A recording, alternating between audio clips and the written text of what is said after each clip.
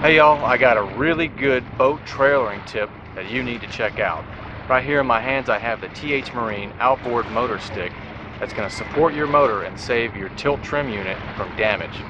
So sometimes what you'll see is you'll see people going down the highway with their motors down, resting on these rods here, or you'll see it up, may not be resting on those rods, or you'll see it on the kickstand.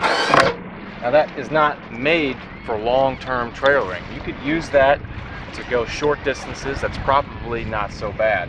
But if you're trailering all the time, especially if you're going down the highway, going over a lot of bumps, that's not good for your motor. It's not good for that tilt trim unit. So what you want to do is you want to get these Motor Stiks right here. You want to put them right over the rods. It tells you this is it says Honda, Yamaha, and others. So I'm going to put that in. Put that right there. Same for the other. And now you've got a sturdy brace for this to rest on.